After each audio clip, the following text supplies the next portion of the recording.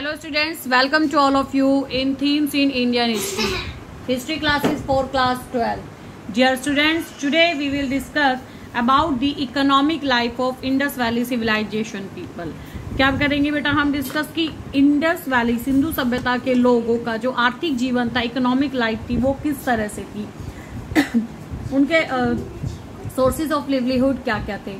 तो बेटा इसमें हम क्या क्या डिस्कस करने वाले हैं?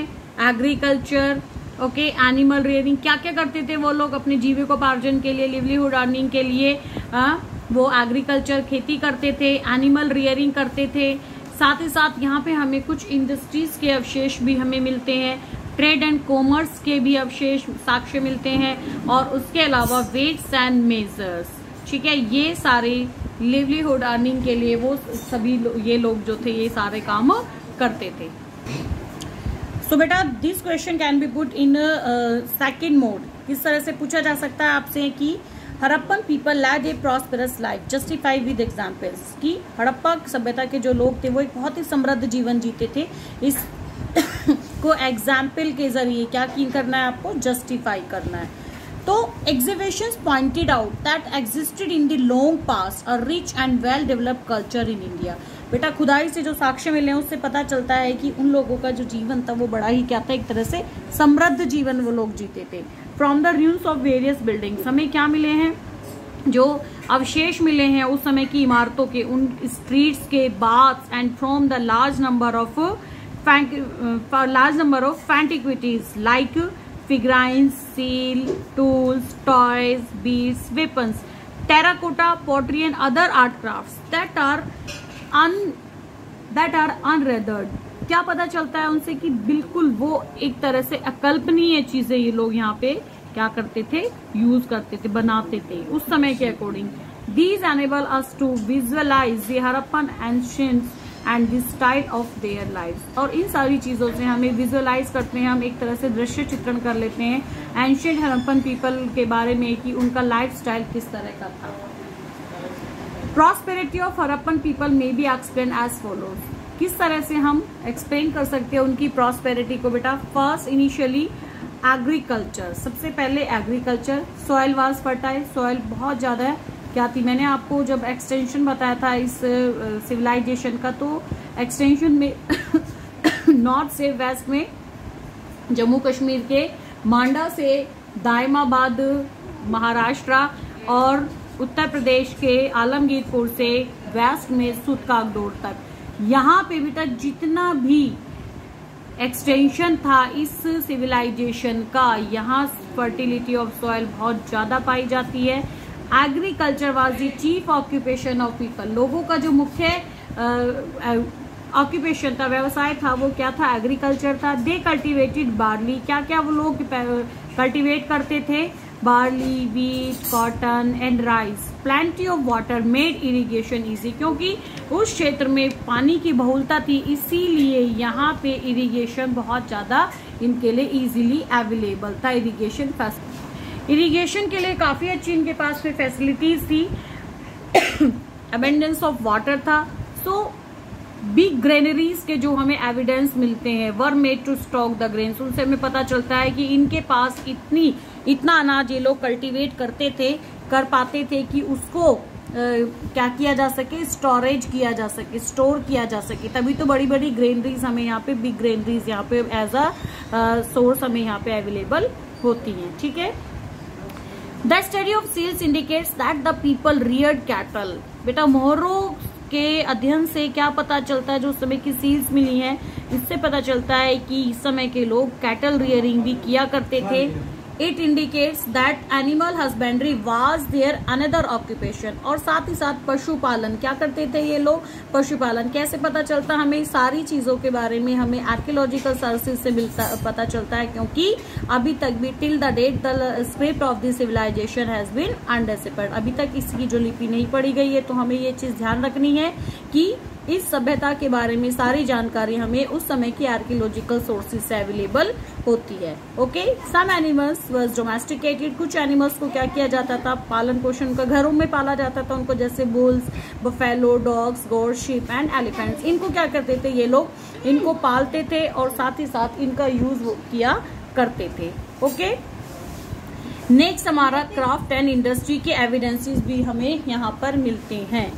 बेटा industrial centres were develop in cities and towns दोनों में ही सिटीज़ और टाउन्स में ही हमें इंडस्ट्रियल सेंटर्स के अवशेष मिले हैं। Many articles were produce by the people from copper bronze lead silver gold and beads were use बहुत सारे आर्टिकल्स बना, लोग बनाते थे। किस किस से? जैसे कॉपर से ब्रॉन्ज से लीड सिल्वर गोल्ड इन सभी मेटल्स का यूज़ वो लोग किया करते थे। Metals and non metals objects का यूज़ किया करते थे। ठीक है? गोल्ड एंड बीड्स ये क्या क्या बनाया करते थे? ऑर्नामेंट्स आभूषण के भी हमें यहाँ पर अवशेष मिले, आभूषण बनाया करते थे। Lothal was famous for bead factories Lothal जो था, मन के बनाने की फैक्ट्रीज के लिए बहुत ज़्यादा फ़ेमस था। Weaving was an important industry साथ ही साथ क्योंकि हमें यहाँ पे पता चलता है कि वीविंग बहुत ज़्यादा इंपॉर्टेंट इंडस्ट्री थी। इनके लिए spinning of cotton and wool was common cotton और वूलन वूल दोनों की ही क्या की जाती थी, यहाँ पे स्पिनिंग की जाती थी। ठीक है? Trade and commerce people of Harappa culture Harappan culture develop Mohenjodaro as a great trading centre for internal as well as external बेटा मोहनजदारो से जो अवशेष मिले हैं, उन साक्ष्यों से पता चलता है कि ये एक बहुत बड़ा ट्रेडिंग सेंटर था। केवल आंतरिक व्यापार के लिए नहीं, बल्कि एक्सटर्नल यानी दूसरे कंट्रीज़ के साथ में जो एक्सटर्नल ट्रेड हुआ करता था, उसके लिए भी। ठीक है?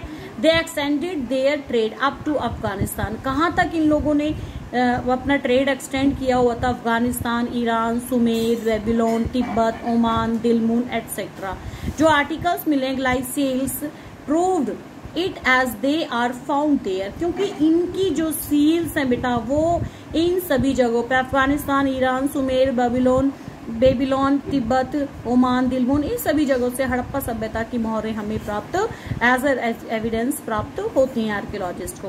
Trade was establish through both land and sea और साथ ही साथ ही पता चलता है कि जो ट्रेड था वो लैंड और सी रूट दोनों से ही किया जाता था।